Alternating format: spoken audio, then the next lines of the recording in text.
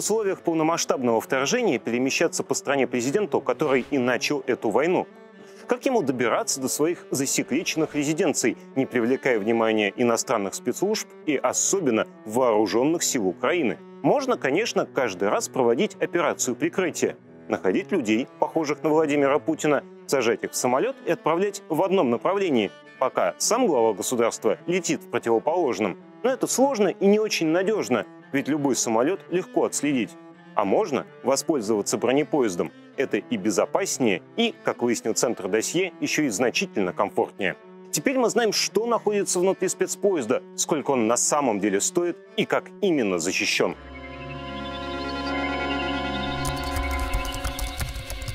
Специальными поездами пользовались все российские лидеры. Военный нарком Лев Троцкий командовал из своего бронепоезда армии в период гражданской войны. Иосиф Сталин добирался по железной дороге до послевоенной конференции в Потсдаме, а Леонид Брежнев в 1978-м проехал на поезде через всю Сибирь. Брежневские вагоны достались и Владимиру Путину. В его спецсоставе три вагона, построенных еще в 70-е и 80-е годы. Два узла связи и один вагон дизель-электростанция. Еще три вагона президентского поезда сделали вскоре после перестройки. Но, вероятно, спроектировали их еще во времена позднего Советского Союза. Это вагоны-гаражи. Их использует не только президент. Например, в 2010-м в одном из них перевозили два кадиллака для патриарха Кирилла, приехавшего в Украину. Бронепоезд Путина – одна из главных государственных тайн.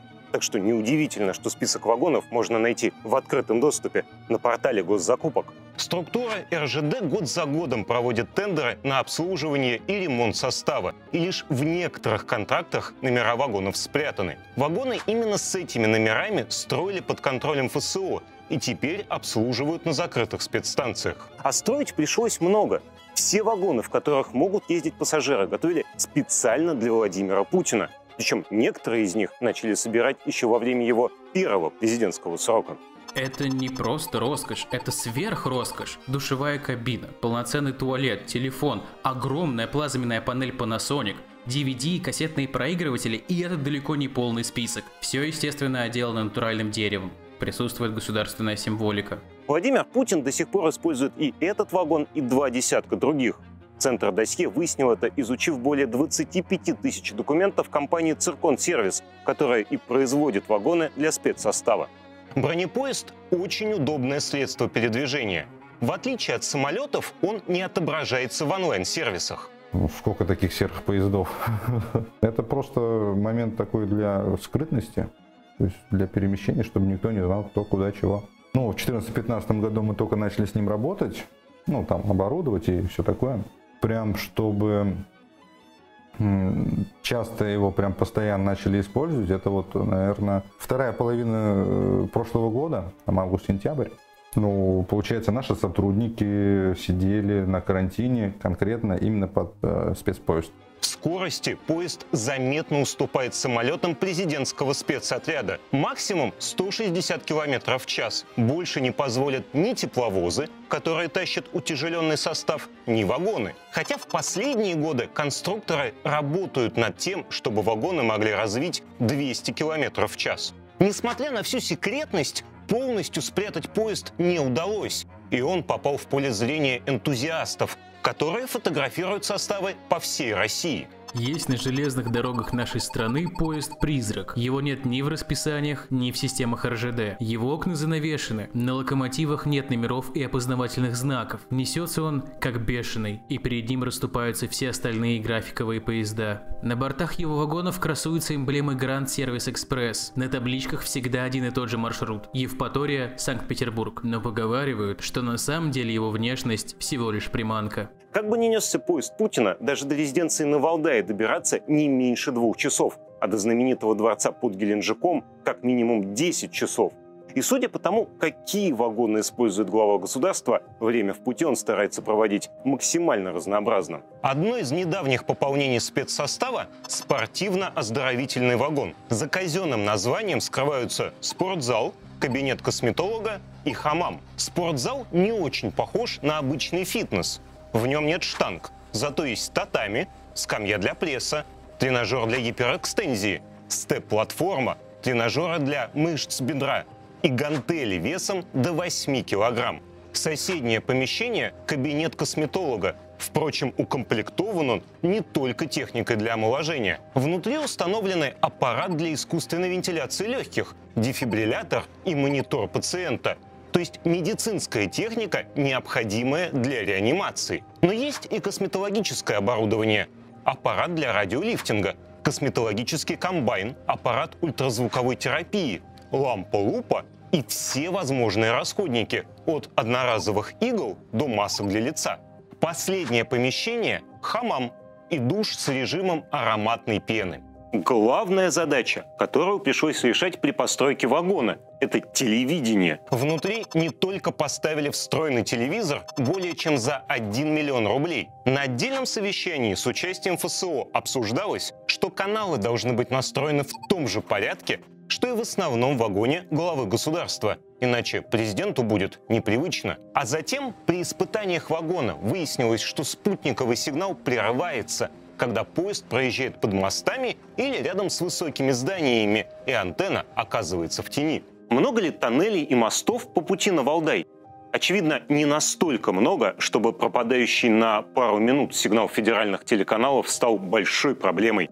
Но только не для Владимира Путина. К работам привлекли московские НИИ радиосвязи. В институте сначала предложили поставить систему буферизации. Сигнал загружается на специальное оборудование, а оттуда транслируется на экран. И если сигнал пропадает на некоторое время, то картинка продолжает подгружаться из буфера. Но и это не помогло. Существующая система работает только для одного канала.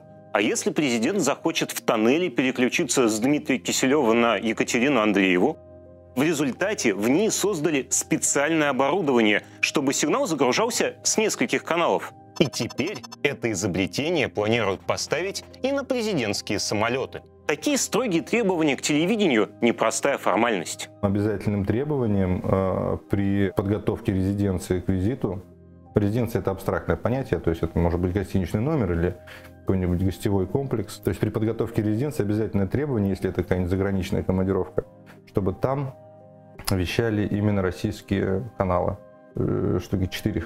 Спортзал, хамам, телевизор и кабинет косметолога обошлись бюджету более чем в 400 миллионов рублей. Именно бюджету платят за все граждане России за счет своих налогов. Закупками занимаются РЖД и структура госкомпании. А распоряжение построить спортивный вагон отдал лично президент российских железных дорог Олег Белозеров. Он же потом следил за тем, как идут работы. Из бюджета оплачивают и совсем новые заказы.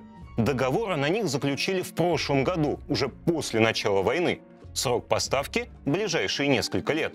Новинок несколько. Это вагон-зал с мультимедиа-центром. Судя по документации, это будет большой железнодорожный кинотеатр. Еще один спортивно-оздоровительный вагон с таким же наполнением, как и уже существующий образец. Два вагона люкс. В одном будет 4 купе и бар, во втором 6 купе. Они предназначены для охранников президента и сопровождающих лиц. В планах построить два вагона ресторана. Видимо, выглядеть они будут вот так. Это проект интерьера. Еще будет сцеп из двух служебных вагонов. Один сцеп для отдыха, второй для переговоров. И вагон-зал. Его подготовят последним и закончат работы к 2025 году. Всего на поезд Путина потратит почти 7 миллиардов рублей. И это только на новые вагоны, документы по которым получил Центр досье. В подсчетах мы не учитывали вагоны, которые построили в начале нулевых. Деньги налогоплательщиков за заказы получает не случайный подрядчик. Компания «Циркон Сервис», документы которой изучил досье, по сложной схеме связана с семьей Юрия Ковальчука. Именно Ковальчук отвечает в окружении Путина за быт и досуг президента.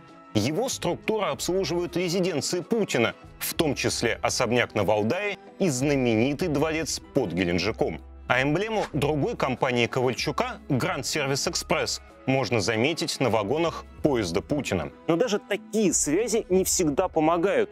Циркон-сервису пришлось долго торговаться, чтобы хотя бы покрыть издержки. В ожидании хотели платить по счетам, поскольку сочли, что компания завысила цены. В результате Циркон получил на 30 миллионов рублей меньше желаемого. В руководстве Циркона знают, для кого предназначается их продукция. Во внутренних документах Владимира Путина называют «главный пассажир». с большой буквы. А гендиректор компании гордится, что работу предприятия высоко оценивают не только в РЖД, но и в Федеральной службе охраны. ФСО действительно очень много внимания уделяет спецпоезду. Десятки сотрудников ведомства ежедневно обслуживают состав и готовы в любой момент выехать вместе с президентом. Для поезда построены специальные станции. Одна из них в центре Москвы.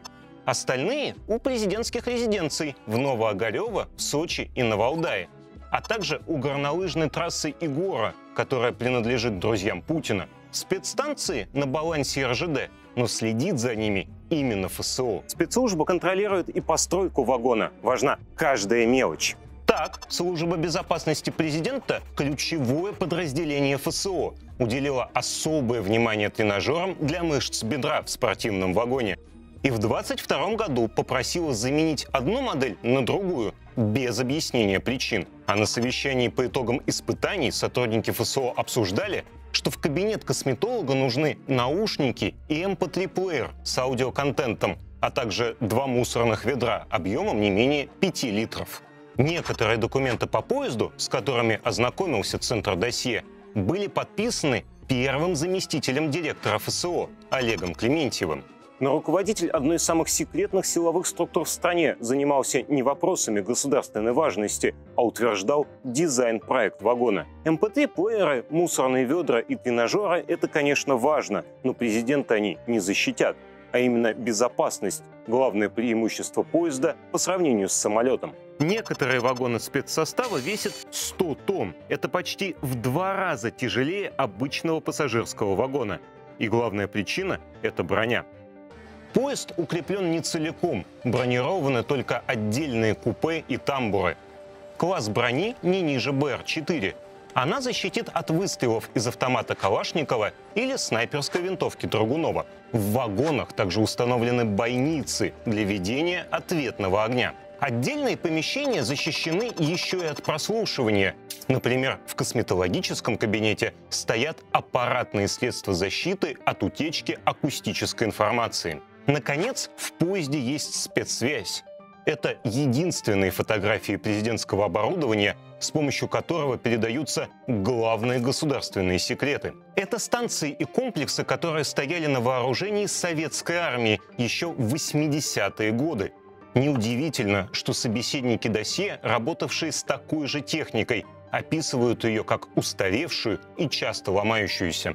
Новейшие мультимедиа-системы, тренажеры и косметологическое оборудование и устаревшие системы специальной связи, броня, защищающая отдельные помещения и измотанные офицеры ФСО, которые четвертый год не вылезают из бесконечных карантинов и охраняют поезд вахтовым методом. Возможно, спецсостав Владимира Путина не так уж и безопасен, как считает президент.